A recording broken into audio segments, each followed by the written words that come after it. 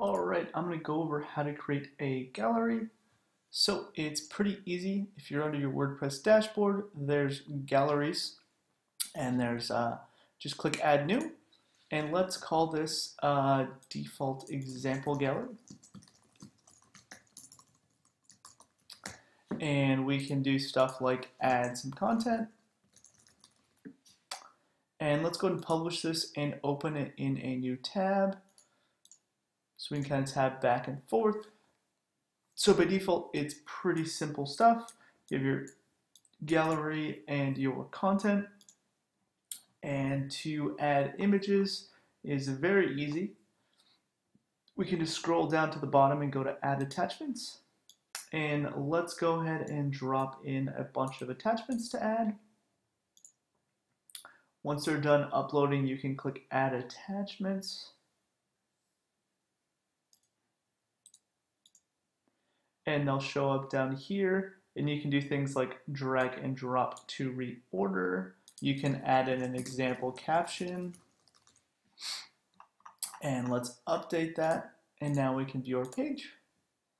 And now you can see we have our gallery set up, our captions. You can remove items by just clicking unattach. You can delete them completely by clicking delete. Pretty easy stuff. You can add more. It's very easy to manage the gallery.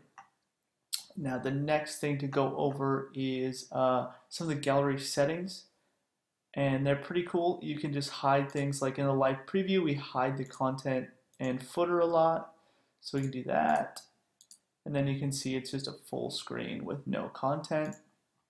And then you can uncrop images or remove the thumbnail navigation and that is how that works. So it's all pretty easy. The last thing to cover is setting a featured image. So to set a featured image is pretty easy. Just click set featured image and it's probably recommended to set this first image um, and then you can click update and this is what displays under like your portfolio layout so that first image is going to be that featured image. This will be covered a little bit more under the category section but uh, I just wanted to cover that real quick. So you can just, so for instance, if I posted fashion, then I go to the fashion category, you can see the featured image is the one that shows up here, and then the rest of the images display in your gallery. So let's go ahead and create another one real quick. It's called gallery example 2, and we can just click uh, add attachments up there or down here. So let's go and just add two images really quickly. And you don't need to add multiple images, you can do one image as well. It works the same way. So we've got our two images loading. We can add them. I'll leave them alone. And let's post this in the same fashion. And let's set that featured image and publish this. And then let's go ahead and open this in another tab. Now we have our second gallery over here. So you can just see how easy it is to create galleries. And then that featured image again displays right here under your category. Oh, and then the last thing to, do, to cover is how to set a gallery item under your navigation. So you can do that under appearance and menus. And you can just, under screen options, make sure galleries show up and then it shows down here is selected and then you can add a gallery to your navigation. How to add a video is pretty cool. You can just go under video example.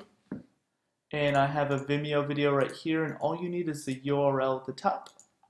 And you can paste that under video link and publish that. And we can view that. And you've got yourself a video now for this one, if you wanted to display it on the portfolio category like fashion, just make sure that you uh, set a featured image right there. Otherwise, it will not show up under the category. So we would want to set a featured image. And that's how to do video, galleries, all sorts of good stuff right there.